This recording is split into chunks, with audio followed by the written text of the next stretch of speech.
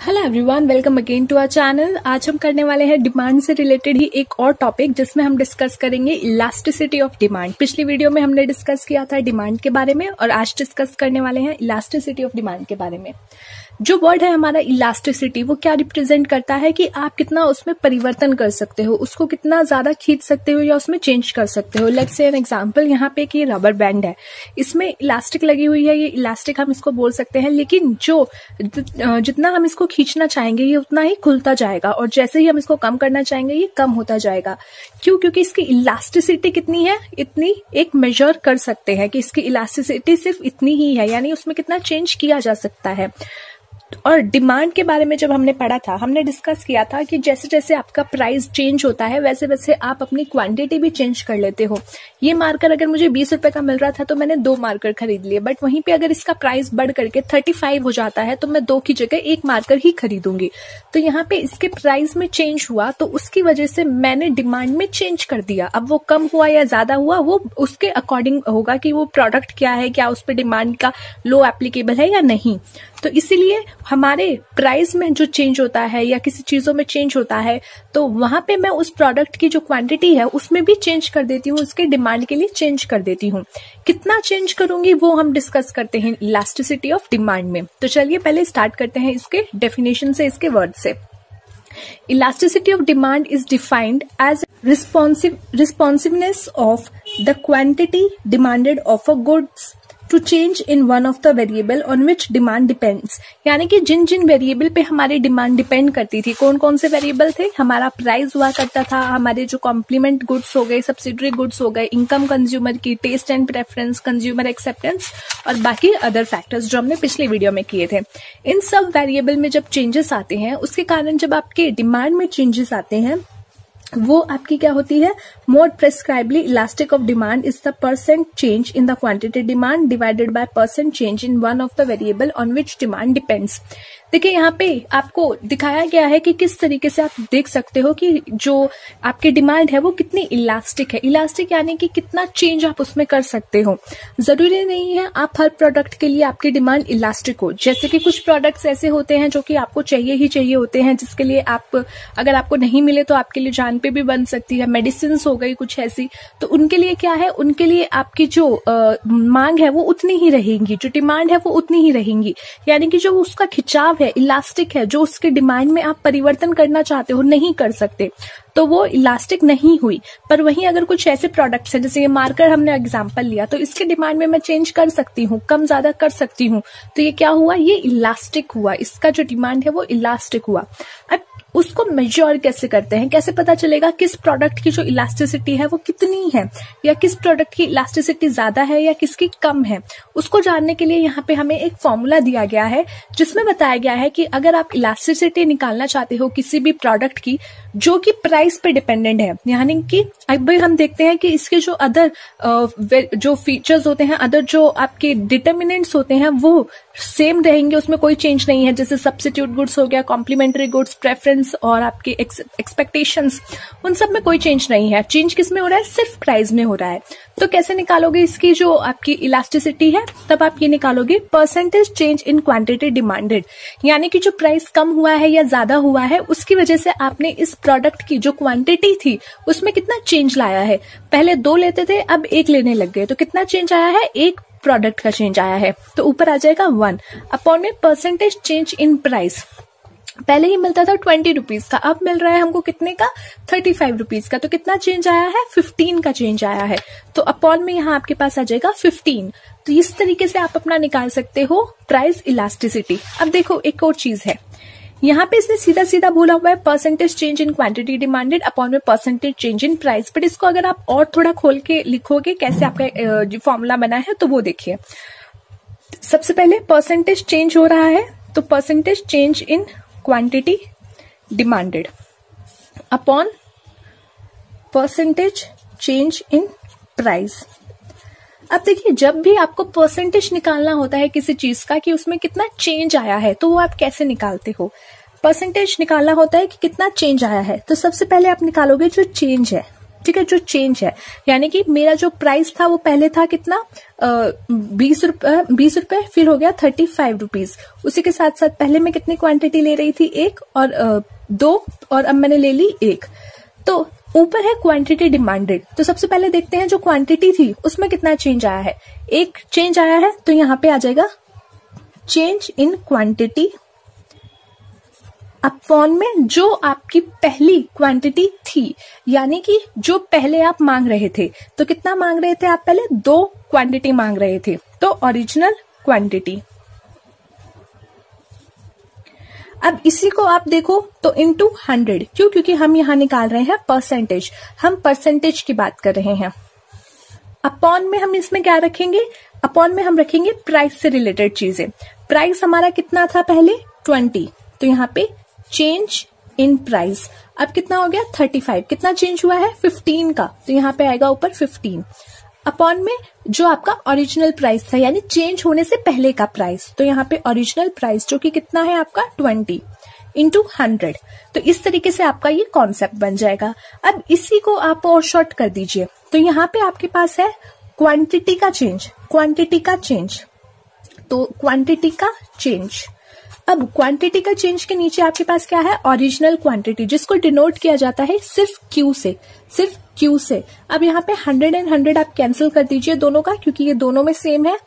अब इसके नीचे की जो पार्ट है, अगर हम इसको मल्टीप्लाई करेंगे तो ये क्या हो जाएगा? चेंज हो जाएगा। यानी कि जो नीचे है, वो ऊपर आ जाएगा और जो ऊपर है, वो नीचे चला जाएगा। अब यहाँ पे देखिए, ये कितना है? यहाँ पे आपके पास ओरिजिनल प्राइस है तो यहाँ आ गया पी अपॉन में यहाँ पे क्या है? प्राइस में चेंज तो चेंज इन प्राइस तो इस तरीके से आपका ये शॉर्ट फॉर्मूला बन के आ जाता है। यानी कि क्वांटिटी में कितना चेंज है? बाय क्वांटिटी और इनटू प्राइस और प्राइस में चेंज क्यू के आगे जहाँ पे ये रेक्टेंगल है, इसका मतलब चेंज और सिर्फ़ जो क्यू और पी है, यानी कि ओरिजिनल प्राइस और क्वांटिटी इस तरीके से आपका पूरा ये जो है फॉर्मूला बनता है। यहाँ पे आपका फॉर्मूला उल्टा लिखा हुआ है तो ये आप नोट करते हुए ध्यान रखिएगा। तो इस तरीके से आपका चेंज बनता है। अब एक और चीज़ देखिए। यहाँ पे अभी हमने ये जो कॉन्सेप्ट लिया था, ये प्राइस का, अगर इसी को मैं सॉल्व करना चाहूँ तो यहाँ पे मेरा कितना आएगा? क्वांटिटी में कितना चेंज हुआ है मेरे पास? वन का। ओरिजिनल क्वांटिटी कितनी थी मेरे पास? टू इंटू प्राइस वहीं पहले प्राइस कितना था? ट्वेंटी का। और प्राइस में अब चेंज कितने का हुआ है? प्राइस में अब पंद्रह रुपए का चेंज हो गया है। अब आप इसको सॉल्व कर लीजिए और इसका आंसर आपको मिल जाएगा।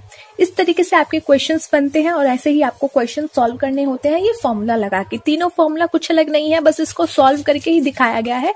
तो अगर आपको ये लिख के आना है तो आप लिख के आ सकते हो बट एग्ज़ाम में कोशिश कीजिएगा इसको थोड़ा अच्छे से रिप्रेजेंट कीजिएगा, जैसे चेंज इन क्वांटिटी अपॉन में क्वांटिटी का प्राइस जो आपकी पुरानी क्वांटिटी है ओरिजिनल क्वांटिटी ठीक है? ताकि वो एग्जामिनर को देख के समझ आ जाए। एग्जामिनर ये शॉर्ट फॉर्म्स नहीं देखता। ये सिर्फ़ आपको एक्सप्लेन करने के लिए हमने बताया है।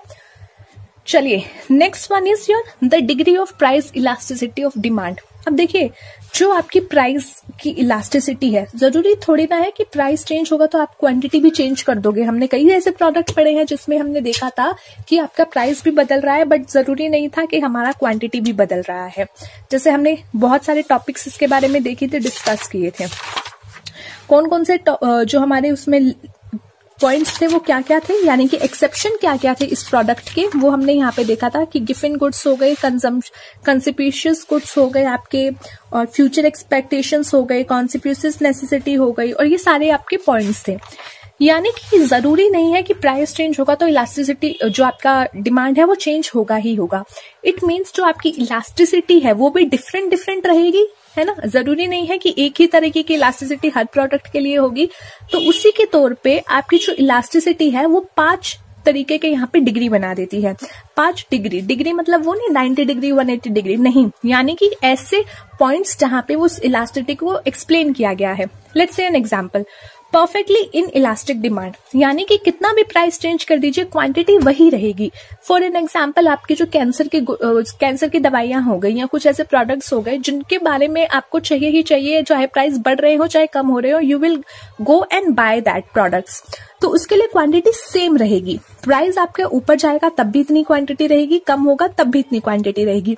यानी प्राइस बढ़े तो बढ़े, अपने को फ़र्क नहीं पड़ता।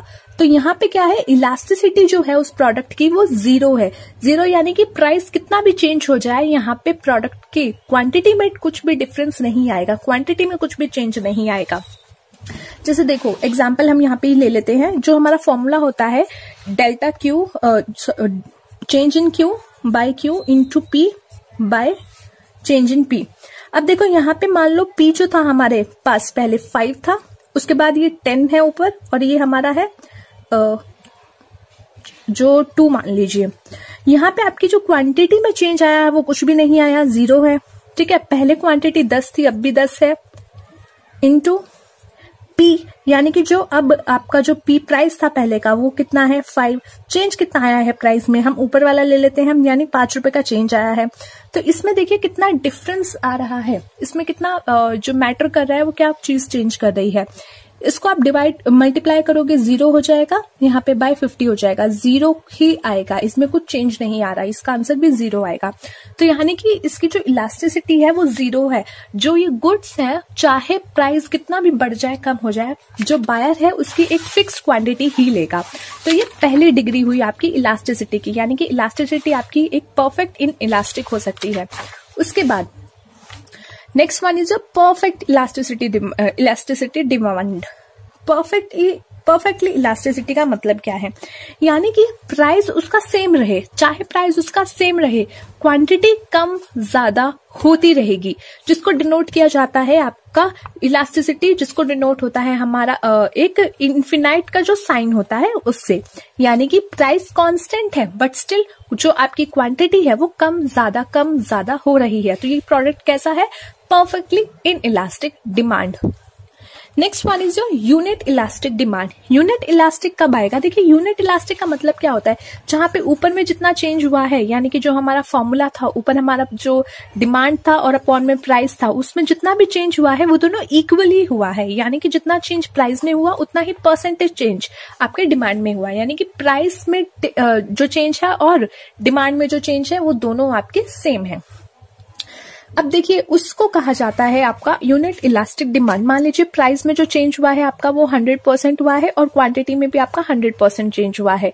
तो ये आपका कैंसिल होके आ जाएगा वन विच मीन्स कि इसकी जो इलास्टिसिटी है, वो यूनिट इलास्टिसिटी इलास्टिक डिमांड है। दोनों में इक्वल चेंज हो रहा है। जैसे प्राइस यहाँ पे टेन परसेंट कम हुआ तो क्वांटिटी टेन परसेंट से बढ़ गई। तो इसका डिमांड सेम आपका रहेगा। उसी तरह रिलेटिवली इलास्टिक डिमांड यानी कि जो आपका इलास्टिसिटी है, जो डिमांड की, वो क्या है? वो ज़्यादा है एक से। एक से ज़्यादा कब होगी? जब ऊपर की वैल्यू नीचे की वैल्यू से ज़्यादा होगी। ऊपर की वैल्यू नीचे की वैल्यू से ज़्यादा होगी। अब ये 150 होती 120 होती तो क्या होता? ये वन ना आकर के वन पॉइंट समथिंग कुछ इसका आंसर आता। तो इट मीन्स वन पॉइंट आता, कब आता? जब ऊपर की वैल्यू ज़्यादा होती, नीचे की वैल्यू से। और वो कब होता? नीचे की वैल्यू डिनोट करती है आपके प्राइस को और ऊपर की वैल्यू डिनोट करती है क्वांटिटी को। क्वांटिटी में ज़्यादा चेंज हो रहा है कंपेयर टू प्राइस में जितना चेंज हो रहा है। ठीक है? क्वांटिटी में ज़्यादा परसेंट का चेंज हो रहा है कंपेयर टू प्राइस में जितना चेंज हो रहा है। तो यहाँ पे प्राइस 10 परसेंट से घट रही है और वहीं क्वांटिटी 30 परसेंट से बढ़ गई है। तो यहाँ पे आपके क्या हो जाएगा? यहाँ पे आपका इलास्टिसिटी हो जाएगा मोर देन वन वहीं अगर इसको थोड़ा सा और उल्टा कर दे, यानी कि रिलेटिवली इन इलास्टिक डिमांड जहाँ पे आपका जो प्राइस है, वो ज़्यादा बढ़ रहा है क्वांटिटी कम बढ़ रही है। प्राइस ज़्यादा बढ़ रहा है और क्वांटिटी कम बढ़ रही है। तो इसका मतलब क्या होगा? ये ज़ीरो पॉइंट समथिंग कुछ आंसर आएगा जो कि एक से कम होगा। तो जहाँ पे एक से कम इलास्टिसिटी होती है, वहाँ रिलेटिवली इन इलास्टिक डिमांड कही जाती है। एक से कम कब होगी जब प्राइस में जो चेंज आया है वो ज़्यादा है और क्वांटिटी में जो चेंज आया है वो कम है।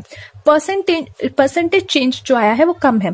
तो देखिए यहाँ क्वांटिटी में आपका फाइव परसेंट चेंज आ रहा है, वहीं पे आपका प्राइस जो है वो ट्वेंटी परसेंट से चेंज हुआ है। तो यहाँ पे क्या हो गया? ट्वेंटी परसेंट जो है वो आपका जो प्राइस है वो नीचे आ गया और उसके ऊपर गया वो था फाइव परसेंट तो यहाँ पे आपका जो आंसर आएगा वो एक से कम आएगा। So this is your relatively inelastic demand एक और चीज़ मैं आपको यहाँ पे बताना भूल गई, वो एक और ऐड कर देती हूँ। जब आप चेंज करोगे क्वांटिटी या प्राइस में तो एक चीज़ आपकी पॉजिटिव रहेगी, एक नेगेटिव रहेगी, क्योंकि हमारा जो इलास्टिस लो का डिमांड है डिमांड का जो लो है, उसमें ये बोला गया है कि जैसे जैसे प्राइस बढ़ेगा और क्वांटिटी कम होती जाएगी प्राइस घटेगा क्वांटिटी बढ़ती जाएगी, यानी कि एक चीज़ आपकी नेगेटिव होगी और एक पॉजिटिव होगी। तो जब आप ये क्वेश्चन करोगे तो एक चीज़ आपकी नेगेटिव ज़रूर होगी। बट वो आपको आंसर में नहीं शो करनी है, वहाँ पे आपको नेगेटिव के साइन नहीं दिखाने हैं। तो इसलिए वो चीज़ आप ध्यान रखिएगा। Next one is your measurement of price elasticity of demand अब आप कैसे मेजर करोगे कि आपकी प्राइस इलास्टिसिटी डिमांड की कैसी है, कितनी है? चलो ये तो पता चल गया इलास्टिसिटी कितने टाइप की हो गई। आपकी एक तो बिल्कुल इन इलास्टिक है, जिसमें कुछ चेंज नहीं आएगा ज़ीरो हो गई। Next one is your infinity चाहे कितना भी प्राइस ऊपर नीचे हो जाए क्वांटिटी आपके आगे पीछे होती रहेगी, ठीक है? प्राइस सेम रहे तो आपकी क्वांटिटी आगे पीछे होती रहेगी इन्फिनाइटी और आपकी वन की हो गई, जहाँ पे दोनों में जो है, एक जैसा ही चेंज आ रहा है। दूसरा आपका हो गया जहाँ पे प्राइस में कम चेंज है और क्वांटिटी में ज़्यादा है एंड नेक्स्ट वन इज़ जहाँ क्वांटिटी में कम चेंज है प्राइस में ज़्यादा है। अब किस तरीके से आपको पता चलेगा कि आपकी जो डिमांड है, कितनी इलास्टिक है? तो इसके लिए अलग अलग मेथड आपको दिए गए हैं।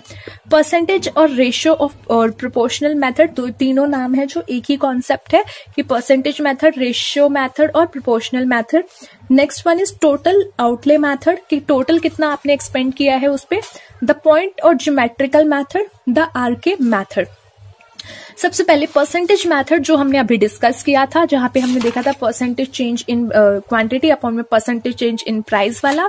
नेक्स्ट वन जो है, वो है आपका टोटल आउटले और एक्सपेंडिचर मेथड यानी कि आपने उस पर पूरा खर्चा कितना किया? मैं पहले जो मार्कर लाती थी, मैंने उन सब पे पहले कितना खर्चा किया था? दो सौ रुपए का खर्चा करके दस जो मार्कर में लेके आ गई। अब क्या हुआ, उसके प्राइस बढ़ गई तो मैंने अब टोटल खर्चा कितना किया? इस पे मैंने 180 का खर्चा किया या 160 का खर्चा किया? यानी जो टोटल एक्सपेंडिचर था, वो मेरा इसमें घट गया। तो जो सेकंड मेथड है हमारा टोटल एक्सपेंडिचर मेथड और आउटले मेथड इसमें हम देखते हैं कि आपने कितना उस पर एक्सपेंस किया है टोटल कितना एक्सपेंस किया है। तो देखिए, यहाँ पे हमने एक एग्जांपल लिया है। पहले पाँच रुपए का प्राइस था तो you guys were demanding twenty units and when the price falls and जो फोर रुपीज़ का प्राइस हुआ तो आपने twenty rupees twenty five rupees जो थे 25 यूनिट्स लेने शुरू कर दिए। तो इट मीन्स पहले आप हंड्रेड रुपीज़ खर्च कर रहे थे, अभी भी आप हंड्रेड ही खर्च कर रहे हो।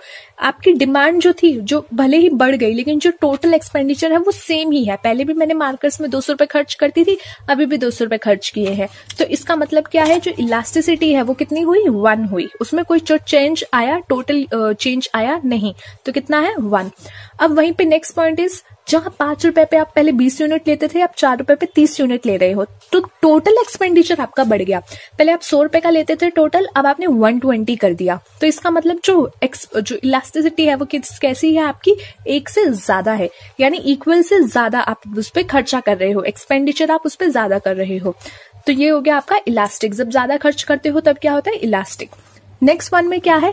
आपका टोटल एक्सपेंडिचर ही घट गया तो इन इलास्टिक यानी कि आपने उस पर ज़्यादा अपना खर्चा नहीं किया, आपने उसको कम कर दिया डिमांड कम करने लग गए तो इन इलास्टिक इस केस में आपके तीन पॉइंट्स ही बना गए यहाँ दिखाई गई हैं, एक equal to one less than more than one and less than one तो ये था आपका टोटल एक्सपेंडिचर का मेथड तो next one is your the point method of geometric method point method और जोमेट्रिक मेथड यानी कि जो ग्राफ आप उसका बनाओगे डिमांड का जो ग्राफ बनाओगे, अगर उसका पॉइंट इस टाइप में बनता है तो वहाँ पे क्या होगी? इलास्टिसिटी को वो शो करेगा. और उसके लिए क्या मेथड है? उसके लिए ये आपके पास इस, ये फॉर्मूला दिया गया है. देखिए, यहाँ पे आपके पास एक ग्राफ बना हुआ है. ये मेथड बोलता है कि जो lower segment of demand curve है, यानी कि जिस पॉइंट पे आपको देखना है कि उसकी इलास्टिसिटी कितनी है, उस पॉइंट से नीचे का पॉइंट आप लेकर के क्या कीजिए? यहाँ रख दीजिए और upper segment of the demand curve और उस पॉइंट से ऊपर का जो पोर्शन है, वो लेकर के आप नीचे रख दीजिए। इसमें हमने नाम दिया हुआ है A B C D E तो यहाँ पे इस ग्राफ के अकॉर्डिंग आप देखते हो कि उसकी इलास्टिसिटी कैसी है। अगर कोई पॉइंट मेरा इस पॉइंट पे टच कर रहा है तो उसका मतलब क्या हुआ कि इसके नीचे क्या है? कुछ भी नहीं है, ज़ीरो है तो यहाँ पे क्या आ जाएगा? ज़ीरो।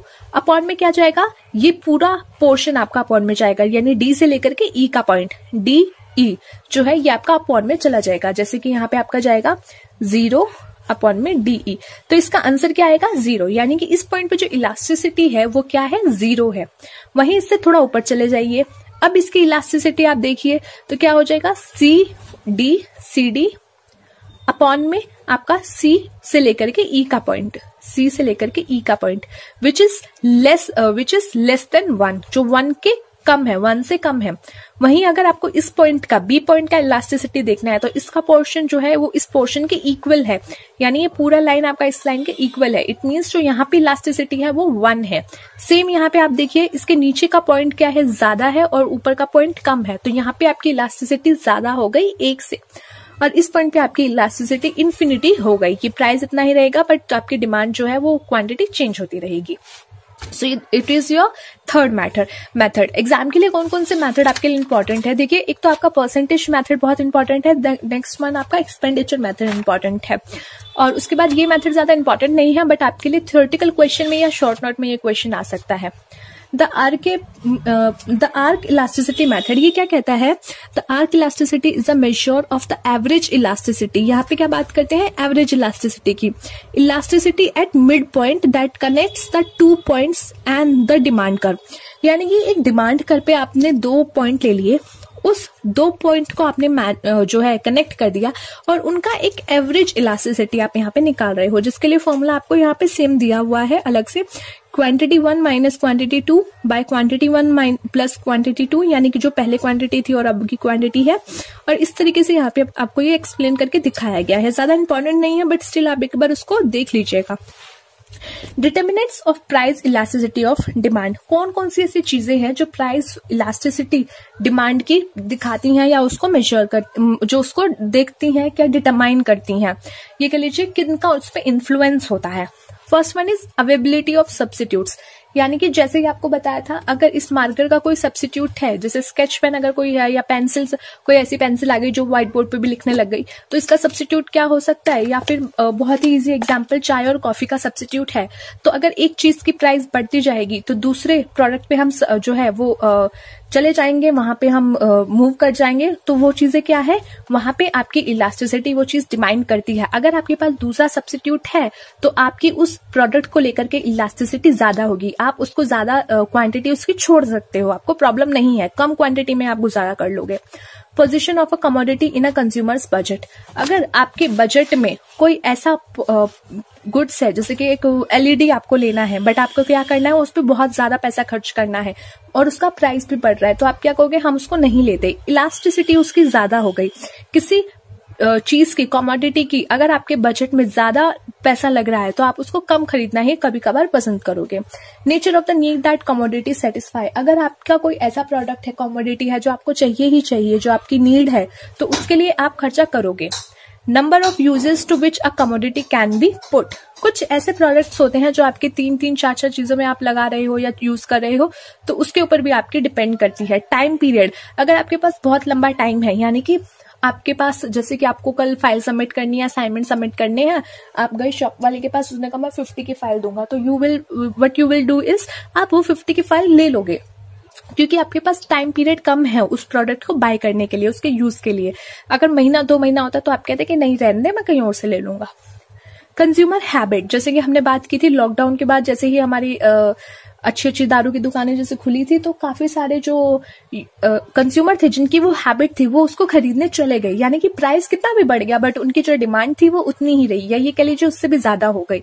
तो वो क्या है कंज्यूमर की हैबिट के ऊपर भी डिपेंड करता है कि क्या आप उसके लिए डिमांड के लिए इलास्टिक है या नहीं है। टाइट डिमांड जो कि आपकी डिमांड बंधी हुई है।